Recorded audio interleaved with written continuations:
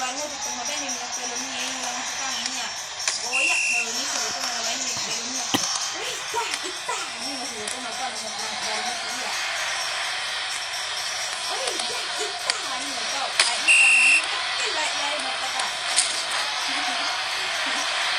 fourth official has indicated two minutes of stoppage time. It's 2-0 now.